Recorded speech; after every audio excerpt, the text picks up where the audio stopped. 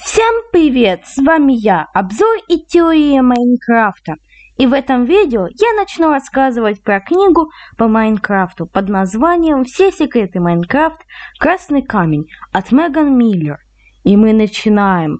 Поехали! Эту книгу и еще одну по Майнкрафту прислали мне два подписчика – Антивещество и Кайло Рин. Хотел бы сказать вам спасибо за ваш подарок.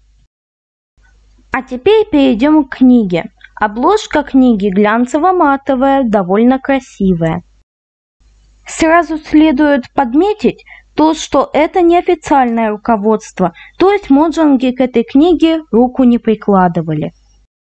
Книга состоит из введения, предметного указателя и десяти глав. А теперь перейдем к содержанию книги. Давайте перейдем к введению, в котором говорится о красном камне.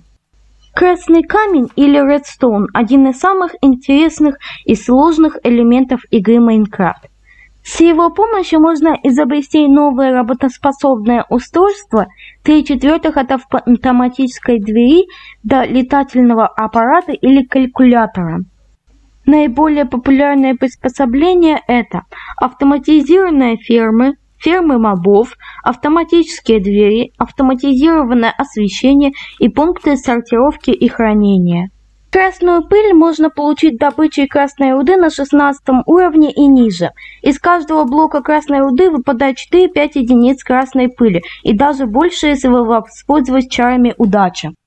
Устройство, использующее красный камень, состоит из трех основных элементов.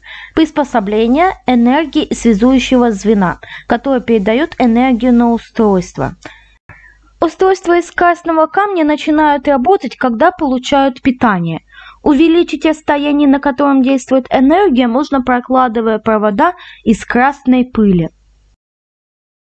Здесь источником питания является кнопка, которая при нажатии передает энергетический импульс.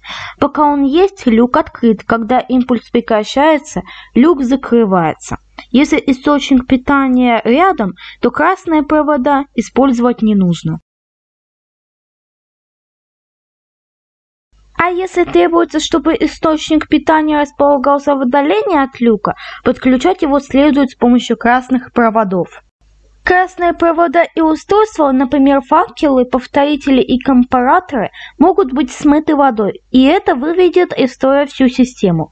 Поэтому, завершив создание устройства, убедитесь, что защитили его от воды. Иногда для установки какого-то блока в определенном месте потребуется сначала разместить там временный блок, на котором будет расположен нужный.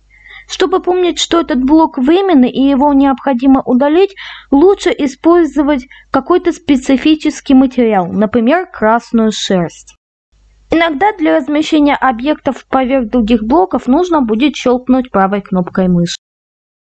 Примеры устройств для этой книги создавались версии Minecraft 1.8.1 для компьютеров под управлением операционной системы Windows. Я же буду играть на версии 1.16.5 Windows. Что ж, на этом первое видео по этой книге закончилось. В будущем будет новое видео по ней. Ставьте лайки, подписывайтесь на канал и нажимайте на колокольчик, чтобы не пропустить следующее видео. С вами, как всегда, был я, обзор и теории Майнкрафта. Всем удачи, всем пока!